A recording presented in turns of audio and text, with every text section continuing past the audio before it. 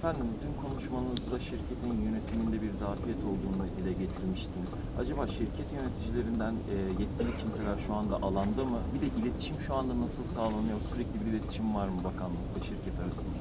Şimdi şöyle dün ifade etmeye çalıştığım hadise şuydu. Genelde bu tarz işlerde burası bir özel işletme. Burası yüzde sekseni Amerikalı bir şirkete ait bir işletme. Ee, ama bu tarz hadiseler olduğu durumlarda genelde şirketleri biliyorsunuz çok görmüyoruz. Sizler de görmüyorsunuz.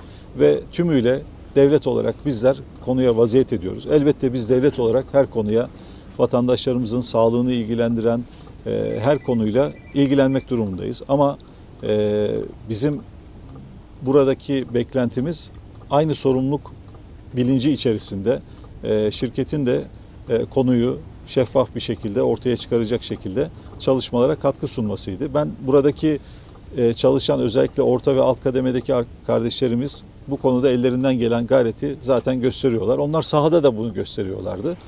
E, özellikle yönetim düzeyindeki bu zafiyeti biraz dün dile getirmiştim ama şirketin e, üst düzey yöneticileri şu anda hepsi buradalar. E, Bunlardan bir tanesi zaten buradaydı ve şu anda e, kendisi hakkında zaten soruşturma devam ediyor. Ama diğerleri de buradalar. Şu anda tamamen bizimle ortak bir e, şey içerisinde uyumlu bir şekilde çalışmaya e, devam ediyorlar. Dolayısıyla e, o sözünü ettiğimiz şeylerin e, neticesi ortaya çıkmaya başladı ve şirket burada e, tümüyle bizim de e, belirlediğimiz esaslar çerçevesinde çalışıyor ve katkı koymaya başlamış durumdalar. Bunu ifade edebilirim.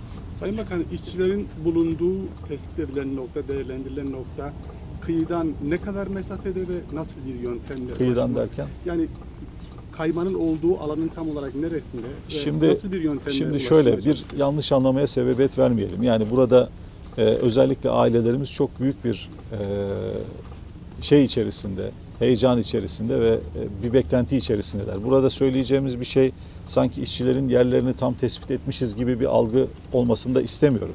Ama dediğim gibi çok büyük bir alanda yaklaşık e, 801 kilometreye yakın bir alan kaymış durumda. Yani bunun içerisinde 6 tane e, kardeşimizi arıyoruz.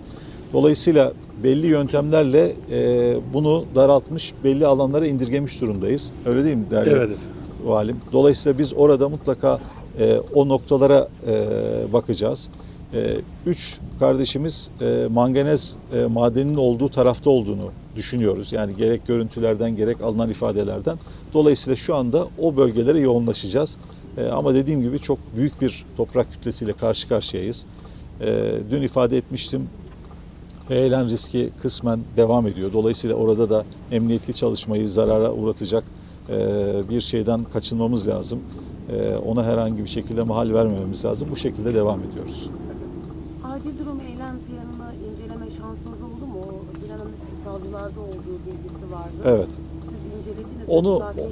Onu ilgili arkadaşlarımız inceliyorlar ama biraz önce de söyledim. Hem ilgili kurumlarımız e, bu yönüyle hem de işletme anındaki e, operasyonlar anlamında gerekli tetkikleri, soruşturmaları yapıyorlar. Sebebine dair e, kapasite arttırma dikkat çeken değerlendirmeler var. Buna katılır mısınız ya da şu ana kadar sizin öngörünüz, tespitiniz nedir sebebine dair? Yani açıkçası e, bu konudaki soruşturma bitmeden, teknik çalışma bitmeden bir şey söylemek doğru olmaz. Yani sizleri ve kamuoyunu yanlış bilgilendirmek istemem. E, ama bütün bunlar etraflıca ilgili kurumlarımızla e, araştırılıyor. Bu, bu işin çok gizlenecek, e, üstü kapatılacak bir tarafı da yok.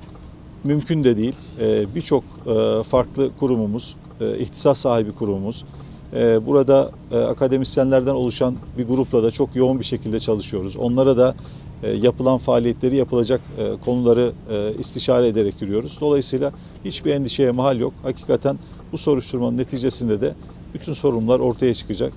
E, Ve inşallah böyle bir e, hadiseyi biz bir daha e, Türkiye'de yaşamayız. E, Hakikaten çok üzgünüm. Ee, ama şu anda artık bir taraftan onu araştırırken önce dediğim gibi kurtarma ama beraberinde de bu rehabilitasyon süreci. E, DSİ burada çok güçlü bir ekiple burada. Onlar da özellikle bu zararlı maddelerin herhangi bir şekilde halk sağlığına zarar vermeyecek, çevreye zarar vermeyecek şekilde e, toplanması ve e, kontrol altına alınması ile alakalı çok düzgün bir plan çalıştılar. İnşallah onu hızlı bir şekilde hayata geçireceğiz. Efendim, e, son soru sorabilir miyim? Yeraltı sularına karışma tehlikesiyle ilgili bir takım e, iddialar vardı. Bilim insanları e, toprakta olan kimyasalın yapılan testlerle biz bunu edindik. E, minimalize çıktığını e, belirttiler e, o oranın. E, en azından setlerle önü kapatıldı ama e, olası yağışlarla birlikte yeraltı sularına karışmaması için nasıl bir e, Evet. yapılacak? Ee, Şimdi şöyle söyleyeyim. Biraz önce ifade ettiğim rehabilitasyon planı aslında bütün bunları içeriyor. Ee, Özellikle devlet su işlerinin e, hazırladığı e, bu sularla alakalı e, konu tedbir seti diyelim. Tedbir seti yaklaşık 5 farklı alanı e, kapsıyor.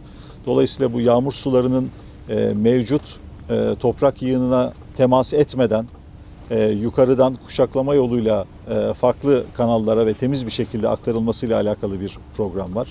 E, birkaç kademeli e, set programımız var ve e, şunu da e, biraz önce aslında ifade etmeye çalıştım. Bu öğleden sonra muhtemelen e, şeyin kararını vereceğiz. Yani mevcut bu kontamine toprağın olduğu e, kütleyi kaldırıp kontrol altında e, nereye taşıyacağımızı o operasyona da önümüzdeki birkaç gün içerisinde inşallah başlamayı hedefliyoruz. Dolayısıyla yani kısa, orta ve uzun vadeli bu planlamaları yapmış durumdayız. İnşallah yani çevreyi ve halk sağlığını etkileyecek hiçbir e, riski e, göz ardı etmeden e, ortadan kaldırmış olacağız. Sayın Bakan gözaltına alınan 8 kişiden kaçı yabancı? E, bir mi? Evet herhalde e, bir kişi. O da zaten yönetici düzeyinde. E, onun da herhalde soruşturması bitti. Mahkemeye sevk edilecek. Şu anda çok e, o kadar detayı şu anda e, bilemiyorum sizinle paylaşabileceğim. Ben ilave bir şey olduğu zaman mutlaka sizlerle e, yine bir arada olacağız. E, çok teşekkür ediyorum.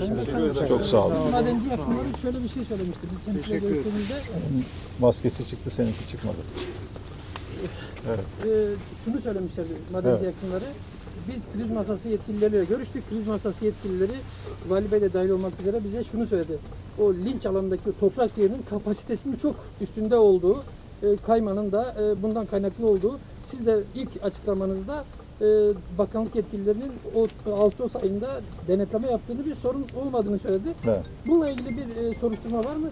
Yani şöyle, e, Ağustos ayındaki denetimde e, farklı tespitler vardı. Orayla alakalı olmadığını söylemiştim. E, ama oradan kaynaklı yani bu fazla yükleme olabileceğini e, düşüncesiyle o konuya da şu anda müfettişlerimiz bakıyor. Dolayısıyla orada bir sıkıntı varsa e, onu da ortaya çıkaracağız. Yani bunların hepsi tespitli, bunların hepsi e, haritaları vesairesi elimizde olan unsurlardır. Dolayısıyla öyle bir şey varsa o da ortaya çıkacaktır yani. Teşekkür ederiz.